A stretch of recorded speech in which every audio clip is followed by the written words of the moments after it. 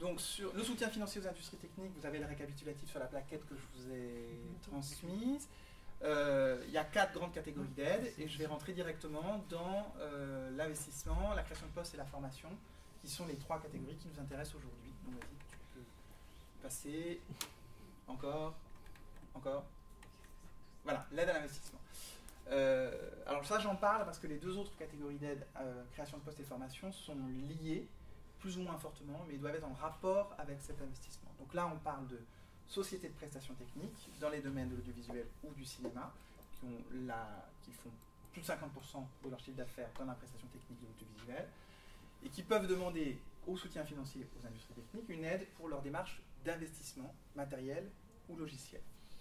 Donc cette, euh, cette, aide est extrêmement large. Donc ça peut être, j'ai mis par exemple des caméras, des optiques, des projecteurs, des machineries. Donc là on est dans des sociétés de location de matériel, des stations de montage, d'étalonnage, d'effets visuels. On est plutôt dans des sociétés de post-production, euh, microphone, console de mixage, auditorium, suivi de chantier. Là on est dans, dans des audits de son, mais aussi des choses qui peuvent être plus larges ou complètement transverses, sécurisation de sites, alarmes.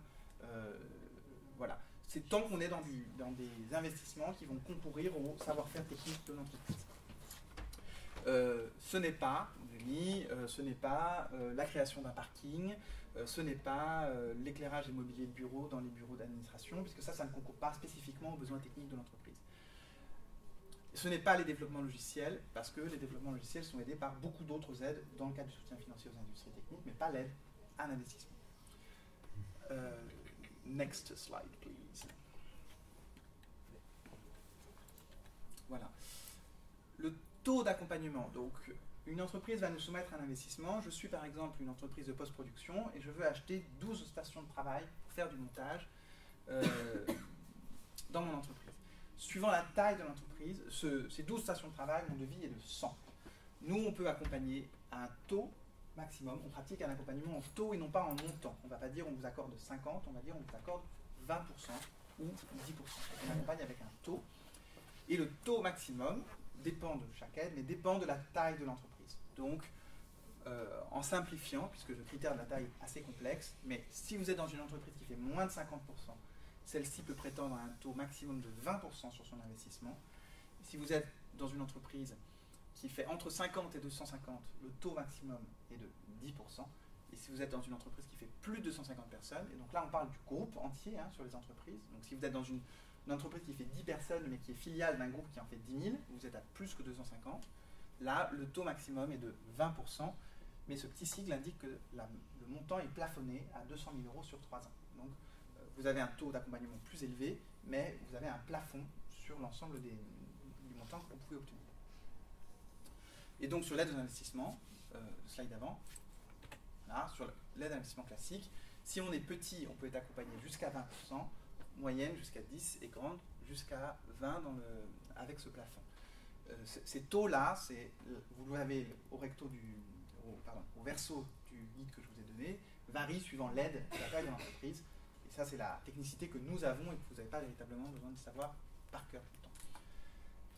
Pour entrer donc, vas-y, dans le vif du sujet d'aujourd'hui, nous avons euh, deux aides particulières qui sont liées à cet investissement. Donc dans la grande catégorie aide aux investissements. D'une part, la création de postes. Si vous faites un investissement spécifique et que dans le cadre de cet investissement, vous créez un poste. Donc ça veut dire qu'on parle bien là de création de poste, donc d'organigramme d'entreprise. Euh, typiquement, il n'y avait pas d'assistant monteur, j'avais un monteur, pas d'assistant monteur, j'achète des stations de montage et un serveur parce que j'ai une augmentation d'activité et je crée le poste d'assistant monteur. Dans ce cas-là, on peut retenir en plus de, euh, jusqu'à deux années de salaire au même taux que le matériel que l'on vient d'accompagner. Donc si euh, le, la, station de montage est accompagnée à 20%, le salaire de l'assistant monteur dont je crée le poste à l'occasion de cet investissement peut aussi être accompagné à hauteur de 20% jusqu'à deux ans euh, voilà la pratique de la commission est d'accompagner sur 12 mois. Euh, et, voilà, euh, et il faut des critères particuliers euh, pour pouvoir aller de. Enfin, c'est un peu un bonus entre 12 et 24 mois. Donc c'est plutôt la pratique est plutôt d'accompagner sur 12 mois la création de poste. Et puis, si c'est un poste qui est particulièrement stratégique dans l'entreprise, ou une société qui est particulièrement stratégique sur son secteur, ou s'il y a une raison particulière d'aller au-delà de ces 12 mois, dans ce cas-là, on peut aller plus loin. En 2014, on a accompagné 80 créations de postes, donc ça c'est tout à fait intéressant. et voilà premièrement. Et deuxièmement, euh, cet organigramme ici ne vaut que sur l'effectif permanent de l'entreprise. Parce que euh, c'est absolument impossible de calculer ça sur l'équivalent temps plein, en disant, vous voyez, on a un ETP de plus par rapport à l'année dernière, avec les, intermittents, ça n'a aucun sens. Donc, ça peut être tout à fait intéressant lorsqu'on cherche à pérenniser un salarié intermittent qui travaille régulièrement avec l'entreprise et que l'entreprise euh, et que l'entreprise souhaite s'attacher donc si vous avez quelqu'un qui travaille régulièrement avec vous, c'est un intermittent et l'entreprise souhaite le passer en CDI. Et donc là, on entre tout à fait dans les critères de la certification sociale parce qu'on est vraiment dans l'articulation entre le nombre d'intermittents et de permanents dans l'entreprise. Dans ce cas-là, nous, à l'occasion d'un investissement, on peut considérer la, pérennisation de ce poste d'intermittent en permanent et donc accompagner jusqu'à 24 euh, ans. Ça, c'est notre première aide, c'est la seule. Au moins, c'est simple. Euh, et on est compatible avec tout. C'est-à-dire qu'effectivement, euh, c'est une aide qui a été mise en place début 2013. Et pour l'instant, euh, à partir du moment où le salarié est en CDI, on est compatible avec tous les autres dispositifs d'accompagnement. On se dit qu'il y a suffisamment de contraintes sur cette aide-là pour ne pas en, ajouter. Donc, si le salarié bénéficie sur ce poste-là d'un autre dispositif, bah, tant mieux pour lui. nous, on ne va pas chercher d'autres éléments. La seconde aide qui peut concerner l'Assemblée, qui peut passer, euh, qui peut concerner l'Assemblée aujourd'hui, est l'aide à la formation. Donc là, ça peut être lié à un investissement particulier, mais pas forcément dans le même mouvement. Parce que l'aide à la création de poste, il y a une notion d'investir de, et de créer de poste dans un même mouvement.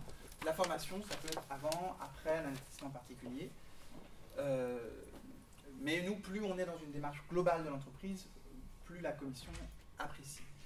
Donc, euh, cette formation, c'est la prise en charge par l'entreprise et aussi donc, une partie par le CNC des salaires des personnels formés et formateurs et ou de l'organisme de formation euh, pour tous les types de formations qui peuvent concerner l'entreprise. Donc, on est euh, soit sur de la formation générale, c'est-à-dire qui procure des compétences qui sont transférables dans une autre entreprise. Donc, je vous ai mis des exemples Maya, Phonix, euh, Massive, Golem, Crowd, qui sont des Massive et Golem Crowd, qui sont des logiciels de gestion de foule dans les effets visuels.